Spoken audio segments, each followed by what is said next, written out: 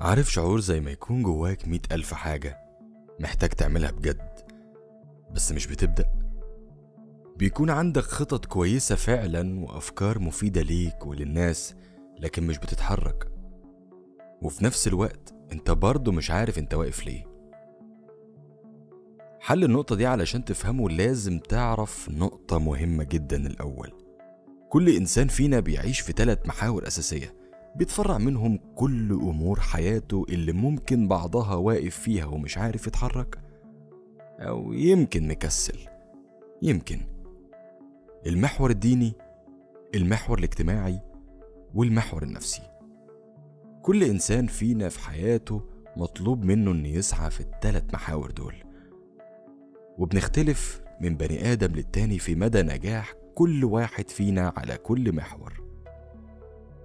لكن برضه مش فاهم يعني ليه مش بعمل حاجة وقاعد مكاني مع إن جوايا هموت وأتحرك؟ إيه اللي ممكن يرجع شغفي أو حتى على الأقل يدفعني علشان أكمل في المحاور دي؟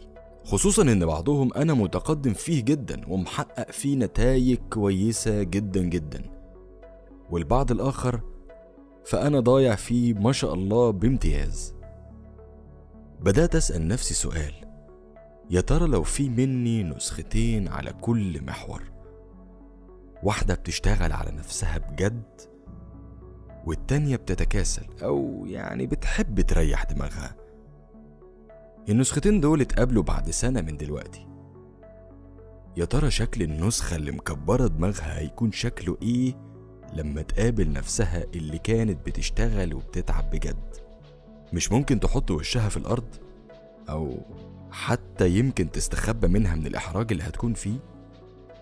طيب تخيل معايا كده بني آدم حب يطور من نفسه علميا وبدأ ياخد كورسات ويذاكر لحد ما حصل على شغل بعائد مادي كويس وارتاح في معيشته وبدأ يحقق المستوى اللي كان بيحلم بيه.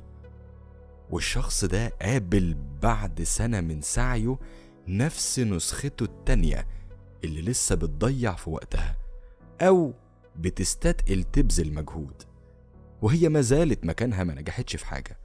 بتتمنى وبس. أو دينيا مثلا بنت خدت قرار الحجاب واتحجبت وشافت نسختها اللي كسلت تلبسه بعد سنة من لبس الحجاب. يا ترى النسخة المتكاسلة دي مش هتكون محروجة من نسختها اللي نجحت؟ ده مش بعيد كمان ممكن النسخة اللي نجحت دي تجري على النسخة التانية تستر شعرها لأنها مش هتستحمل تشوف نفسها بالمظهر القديم. قيس بقى على ده بقى كل المحاور التانية. يا ترى لما النسختين يتقابلوا انت هتكون النسخة اللي نجحت ولا اللي بتحاول تدفن راسها في التراب حياء من النسخة التانية؟ علشان أكيد المقابلة دي هتحصل يوما ما. سواء حصلت جواك أو جوا عين أهلك أو جوا عين صحابك ففي النهاية لازم تحصل. فشوف أنت محتاج تكون أنهي نسخة من الاتنين يوم ما تقابل نفسك لأن الحياة مش هتجيب لك مصباح علاء الدين وأنت قاعد.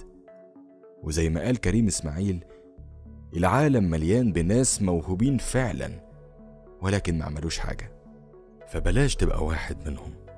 وافتكر إن الدنيا مش هتديك اللي أنت عاوزه على طبق من فضة طالما أنت ما اتحركتش.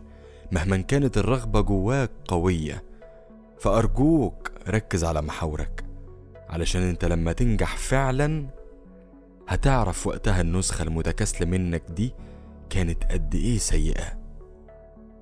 وإنك مش فاشل ولا حاجة بس أنت فعلا كنت مريح حبتين. قوم يا صاحبي. واستناني في الحلقة الجاية أنا رايح فين؟ أنا راجع تاني. بالمناسبة ده اسم الحلقة وطبعا مش محتاج إن أنا أقول لك لو الفيديو عجبك ما تنساش تعمل لايك share وطبعا لو القناة عجبتك اعمل subscribe. وما تنساش تتابعنا على باقي المنصات هتلاقيها تحت الفيديو. سلام يا صديقي.